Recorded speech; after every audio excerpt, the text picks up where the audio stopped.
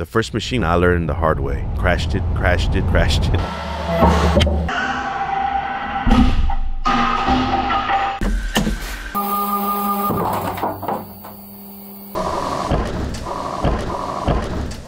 When you got into CNC and you started buying machine, just bought, started with some used stuff, or did you buy new, or how did you get into the world? So I was just looking for the deals, the older machines, because it, you know expensive. Little by little, buying bigger machines, but old. We, we, we were downtime, man. It was Oh, it's down. My biggest fear was it not turning on in the morning. How did you make the decision to go with DN? You had a DNM and you were running a Core 5 with the aluminum, and I was running aluminum. And I did the same thing on my Mori. That Mori's no longer there. So I, I had to get one. I had to get a DN, uh, the Cat 40 Big Plus, and I was hogging aluminum all day long. And I was running, running, running, switching out part. When you go to your facility, like I've been there, and you go, and then there's just all this material, you know, and it's like big chunks of 17.4 and all you think about is like material removal. How do we get this material gone as quick as possible and stuff? You were like big cuts, oh, let's just get after it. Same as I've always done, not really looking for something better because this is what's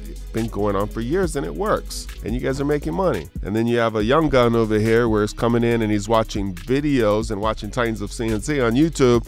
And he's like, look at these cutters and look at what they're doing and look at that MRR and like, can we just go and do the same speeds and feeds? And I love how you said we actually put the tools in and it worked. And then all of a sudden, MRR was like through the rope and you're starting to make money. And then all of a sudden, your uncle's like, wait, okay, we'll buy this tool. if, if, if that's what it's going to happen and we're actually doing the parts faster and now making more money, then it makes sense. A standard vertical in an eight hour shift, standard three axis vertical is up 28% of the time in a normal job shop.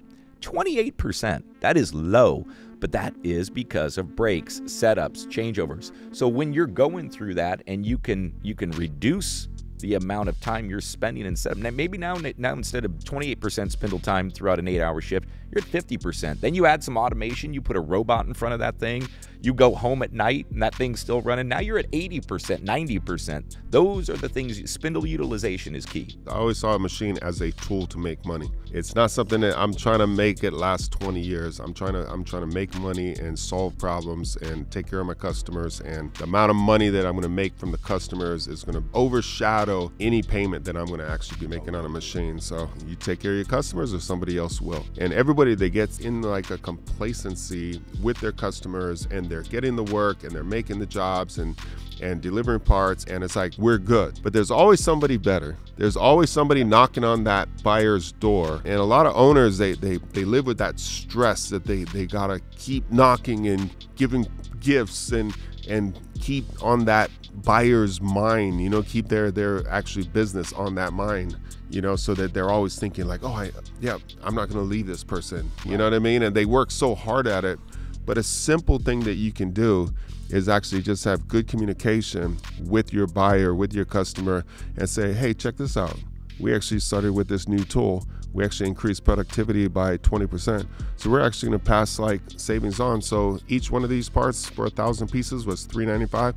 We're going to give it to you for like 365. And you didn't ask for that. That's something we're going to give you, and we're going to keep working to actually keep dropping the prices and stuff through advanced technologies and, and different tool paths and different things because we want this to be a long-term relationship. And when your customer understands that you're working consistently to help them out, even when they don't ask it, they never leave. And you, you create the narrative, you create the story, and then you go after the customers and say, hey, you know, nobody else is paying attention. We are paying attention to this, and we're dropping our our prices by buying the best technology and doing these different things. When I got my first four machines, I didn't wait.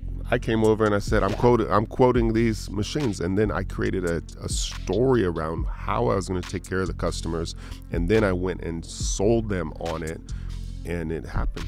Technically we are a machine distributor also and that's how we're going to fund free education for everyone. Yeah, so just another level to the game that we're doing here at titans of cnc yeah, hence keith grano one of the best sales guys i've ever seen coming over here and uh, heading up distribution for us.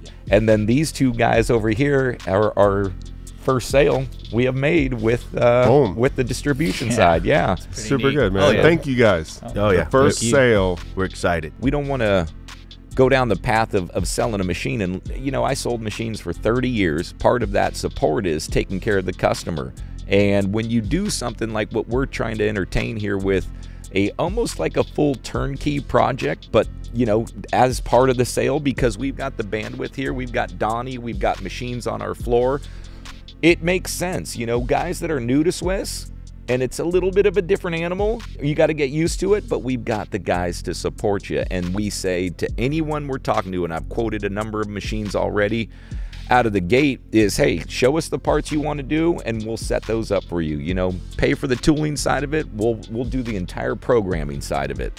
Yeah, it is a win-win all the way around. Heck yeah. So just remember MSM in Houston, Texas has Boom. Swiss capabilities. Oh man. Call Raul and Enrique and get some get some numbers down to them.